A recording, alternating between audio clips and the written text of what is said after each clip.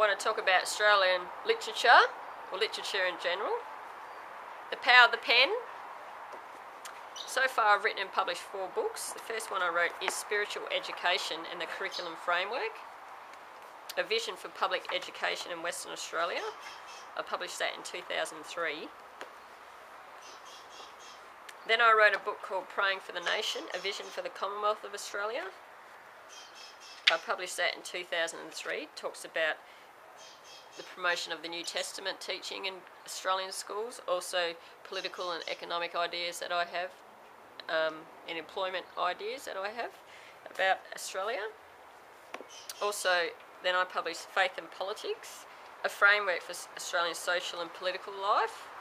I published that in 2005, which talks about using New Testament values to provide better political leadership.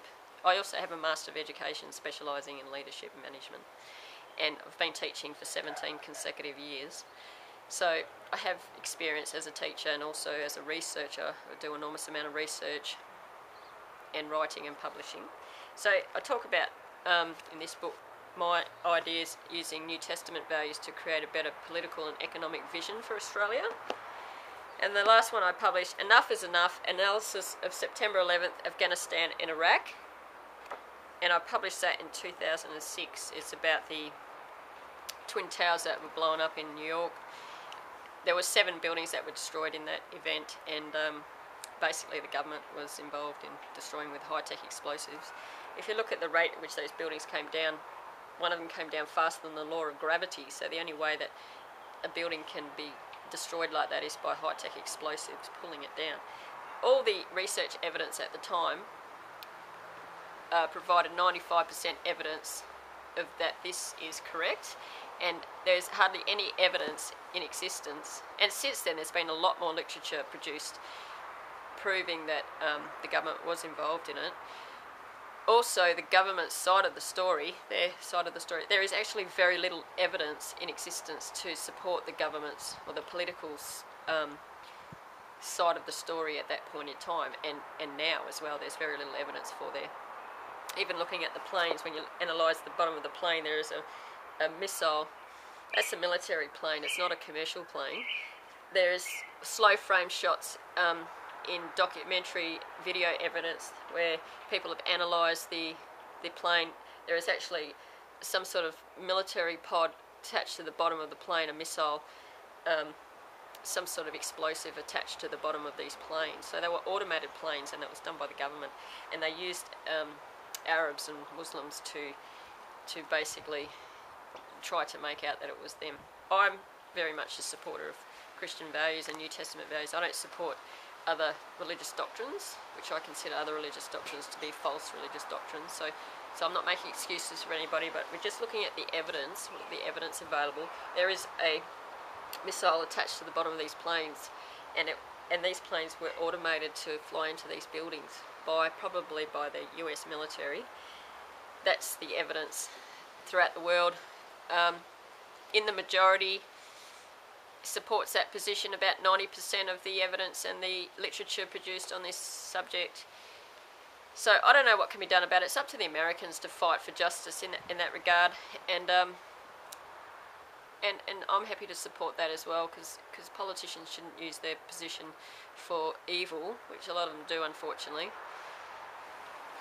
So anyway, talking talking about talking about literature, I'm a great promoter of um, of, of writing and literature produce, and in particular free speech. And I believe freedom of speech is is one of the most important rights in life. It's very powerful, the power of speech, the power of the pen, to transform a nation into something great. It is to be used, I believe, for good things, for uh, promoting good and uh, promoting justice, speech and the power of the pen is to be used to create a better society, a good society, a more just society, a fairer society, a more equitable society, and to promote freedom as well, promote freedom for people. So, so where we have more freedom, freedom of speech and the freedom to write literature at length, we have a better society, we have less injustice, and people are then able to um, develop their gifts and talents and fulfill their potential. Educationally, I promote that as a great vision, and and it's true that where speech is limited in a nation and the power of the pen, literature is limited, then there's more oppression and injustice and cruelty. So where a nation has more freedom to speak and freedom to write and publish and and um, write and publish literature, it creates a much better society. That's a basic economic principle. In education, it's an economic, um, it's a basic principle in education. It's a basic principle in in, in democracy and good leaders in politics in terms of good leadership, uh, effective leadership. Great leaders, they promote freedom of speech, they promote the power of the pen and literature to um, improve society, enhance society, help society, support society, allow people to develop their gifts and talents and reach and fulfill their potential. So we have a lot of politicians in our country at the moment in Australia where they are using tax money to destroy people's fundamental rights and freedom to freedom of speech. And there's been times when they've even harassed and uh, oppressed writers and academics. The Howard government did that. So at the end of their um, term, the last towards the end of their term, that's why they got voted out. That was one reason because they're becoming like dictators. So, so good political leadership promotes freedom of speech and democracy, democratic values. The ability and encouragement to write literature and produce literature, publish literature for the benefit of the nation. I'm a very strong supporter of that. And um, it needs to be encouraged. It's more important than anything. Freedom of speech is more important, a lot more important than even defamation. Because if you speak about public people, name them and talk about them at length, um, in the pursuit of justice, if they are engaging in injustice or cruelty against people in our nation, it's right to do that. It's right to do that. If you're going to upset a few people in the process, well, too bad. Because people have to be accountable. Leaders have to be accountable for their decisions and for their rhetoric.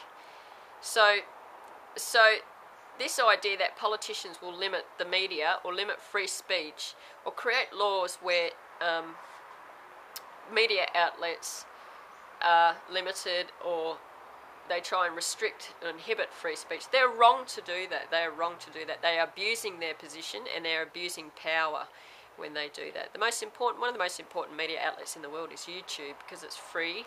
People are able to express their views freely, and it's a great medium through which um, great change can be be made. Uh, there are people in politics and in corporate media who who criticise and condemn social media, but in, in effect, it really is the only true media in existence because political rhetoric and action and corporate media and the manipulation and control of corporate media has distorted the truth. It doesn't provide freedom for people, it provides a certain voice, a particular view that's coming through by a particular group of people or number of people. So you hear the same views all the time from the same people, and they are the people in power. That's not true media. True media is where everyone has the freedom to speak freely and write freely. And therefore, social media is a way to empower people who don't have a voice or whose views don't have another medium through which to express their views. Perhaps they're not capable of writing a book. Perhaps they're not capable of getting a t- group together and delivering a speech. So therefore, they they must have an, a media outlet to to voice their um, views and concerns and the issues that are important to them. Freedom of speech is like air and water. It is essential to survival. It is a very powerful mechanism which is fundamental and inherent to, to a human being and the quality and characteristic of humans to express themselves and, and speak freely. And without it, there is injustice. Without it, there is oppression. Without it, there is evil can increase. But where there's freedom, where there's freedom to speak and write, then issues come out into the light. They come out into the light and they are exposed. And any wrongdoing then is exposed. And then justice can be pursued. So it is tremendously important. It's as important. It is as important as water.